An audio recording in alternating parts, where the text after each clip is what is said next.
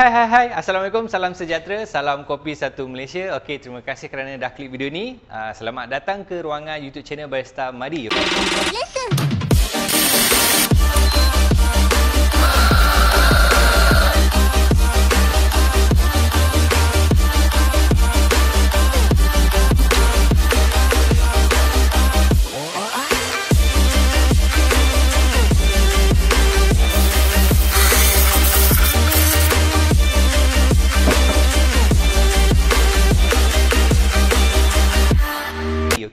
Uh, pada video kali ini aku nak kongsikan dengan korang uh, 5 menu yang berasaskan daripada espresso. Okey, sebelum tu uh, bagi korang yang belum lagi subscribe YouTube channel aku ni jangan lupa subscribe dan jangan lupa tekan butang loceng untuk terima notification video-video terbaru yang akan datang. Okey, baiklah. Jom aku nak kongsikan dengan korang uh, 5 uh, jenis minuman yang berasaskan espresso. Okey, yang pertama adalah americano, long black, flat white, cafe latte dan juga cappuccino. So yang pertama ni kita buat uh, americano dulu, okey?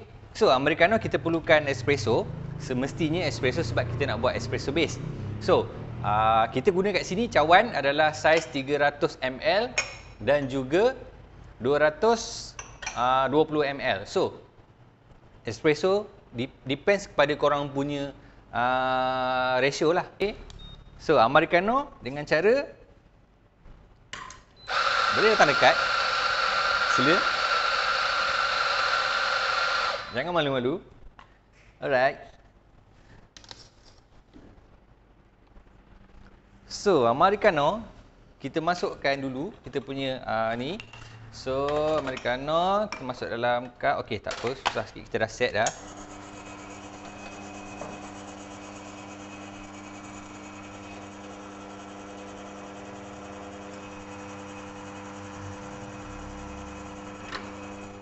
Then kita prep untuk kita punya long black ah.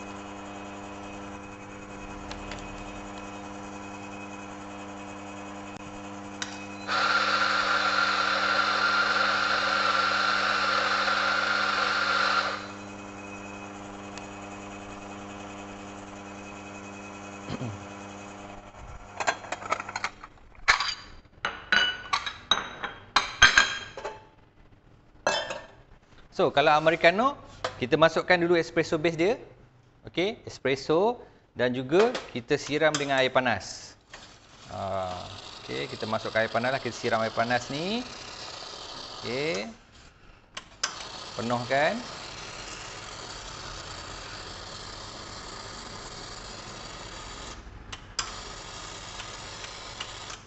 Alright. So, ini adalah americano. Oops, sorry. Okey, dan long black.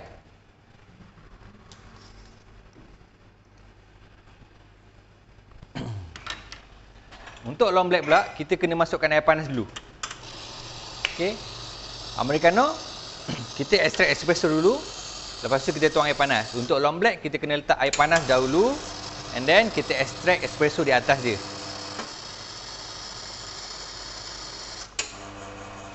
Alright.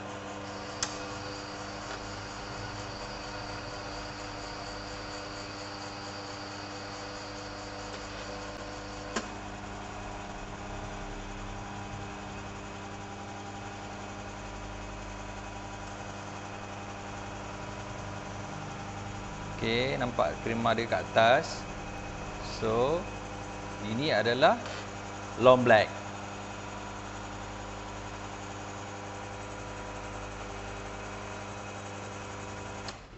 So, korang boleh tengok perbezaan dia kat sini ya. Americano dengan long black. So, Americano ni okey.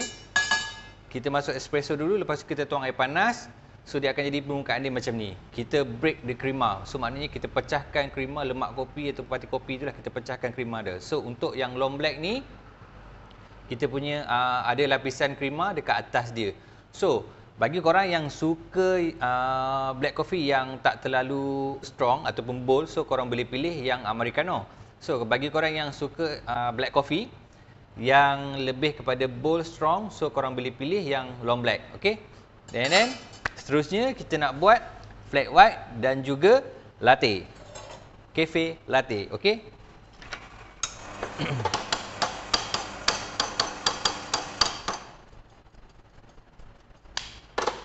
Alright.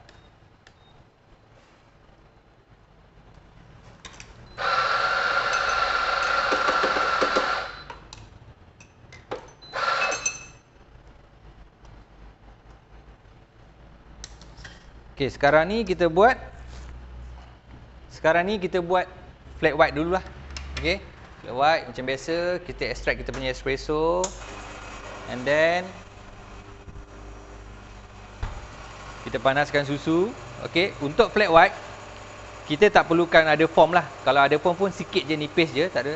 Uh, kita hanya perlukan susu yang di uh, dipanaskan saja, di steam saja, okey. Okey.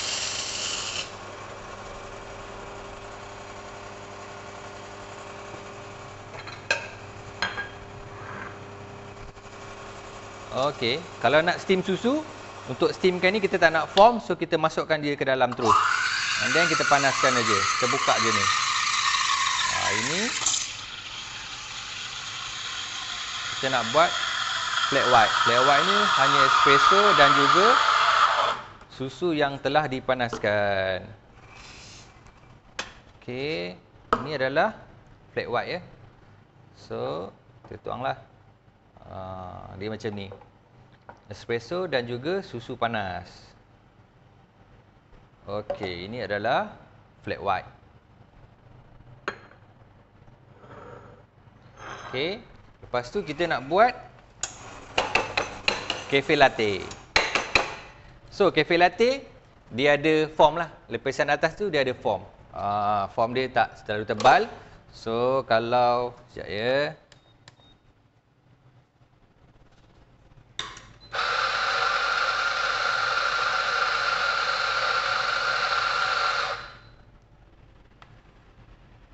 Okey.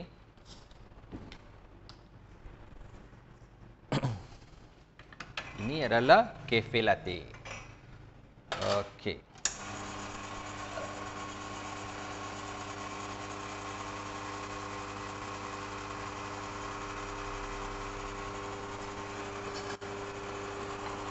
Untuk cafe latte, so untuk cafe latte, susu katakanlah korang letak susu sejumlah banyak ini, so korang kena buat form, kita create form, uh, kita froth dia, hasilkan buih.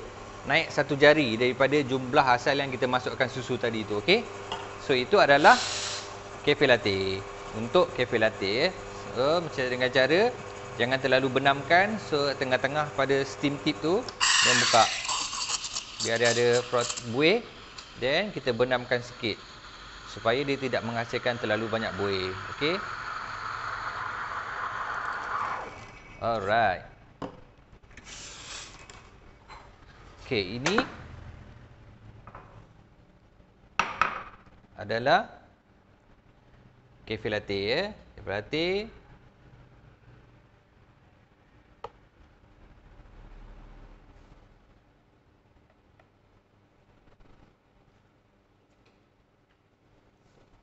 Ini adalah cafe latte. Dan yang terakhir kita nak buat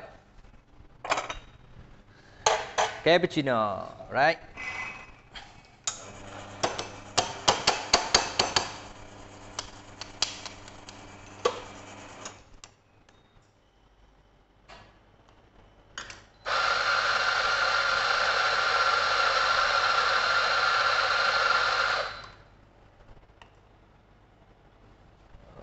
Okey.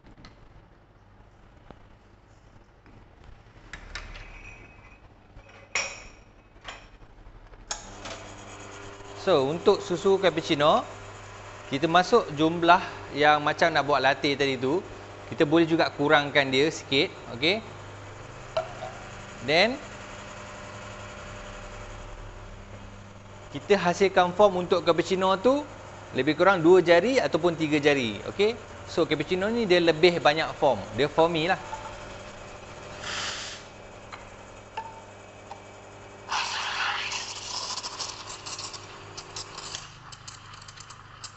Biar dia kita masukkan foam banyak uh, angin banyak-banyak so dia akan hasilkan banyak foam.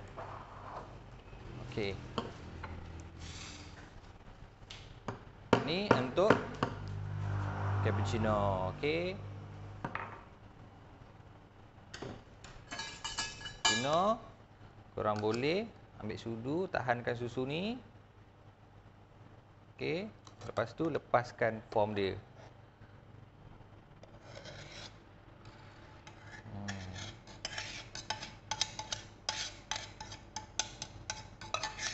So kalau tinggi lagi lagi bagus. Okey. So ini adalah cappuccino. Korang boleh dashkan sikit cinnamon powder lah untuk cappuccino lah. Okey. Apakah perbezaan antara okey flat white, cafe latte dan juga cappuccino? Okey, korang tengok eh. So flat white formnya sangat-sangat nipis. Kalau tak ada form pun okey. So ini adalah flat white. Okey. Untuk cafe latte, so korang tengok. Okey. Ada form bila korang selak je form ni, so korang dah nampak dah susu uh, uh, susu dengan kopi yang kat bawah ni, okey. Untuk cappuccino bila korang selak susu dekat bawah tu masih lagi jauh uh, kopi air air dengan espresso tadi masih lagi jauh okey? So ini adalah perbezaan di antara flat white cafe latte dan juga cappuccino. Uh, sekian dulu uh, perkongsian aku pada kali ini okey? Uh, sebelum tu bagi korang yang berada di sekitar Kelang kalau nak lepak minum kopi jemput singgah ke Sibuk Ngopi Cafe okey uh, korang boleh Google uh, Google Map ataupun Waze saja sibuk ngopi. Uh, kami beroperasi di sini uh, dari pukul 11 pagi hingga 10 malam. Okey. Uh, kami cuti setiap hari Isnin. Jangan lupa singgah. Uh, semoga berjumpa lagi di video akan datang. Assalamualaikum. Bye bye.